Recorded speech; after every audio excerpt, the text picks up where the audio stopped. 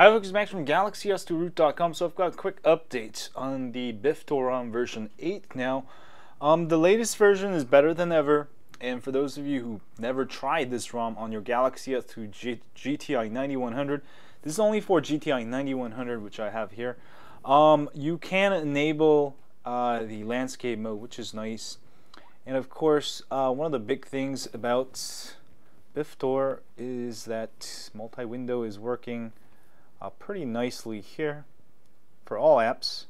So you'll be able to get uh, multi-window working, uh, which is really nice. And also um, to get that working, go into settings. It's actually off by default.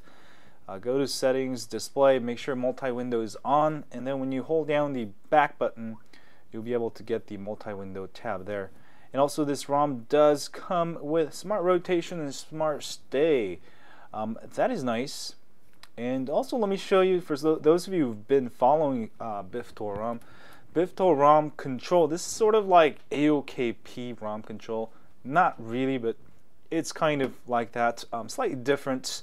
And uh, before there is not as much uh, stuff you can do. Now there's a ton more stuff you can do.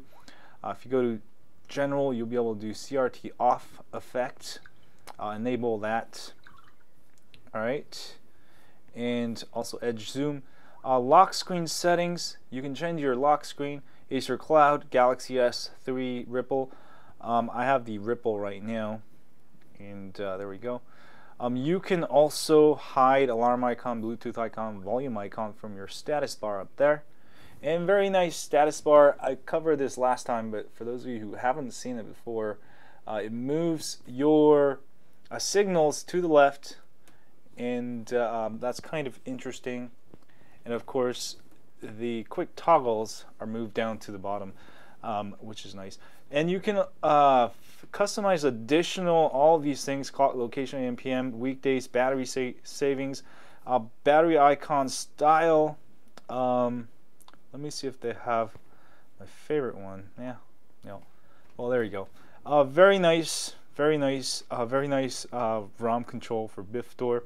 Performance, there's actually no overclocking on this ROM. Um, if you have any issues with performance, it's super fast out of the box. Uh, you can try installing another custom kernel, um, you know, and overclock it. Uh, or if you're not getting good battery life, you can always try another custom kernel um, that will improve the battery life. Also, navigation bar, uh, if you want soft buttons, kind of like a Galaxy Nexus, like an AOSP ROM, you can do that. Um, DPI changer, um, this can change your LCD density uh, if you want to. I'm not going to do it. You'll have to reboot uh, for that to work. And also BIFTOR settings like last time, but slightly more stuff you can do. Kill apps button. Lock screen mods, this is where you can set different colors. Uh, let me go ahead and set yellow there. You'll have to be using the Galaxy S3 Ripple lock screen. Um, there you go. And also you can get the uh, lock screen torch and skip song which is nice. Just turn your phone on to the lock screen hold down the home button and boom you've got the torch. I love that stuff.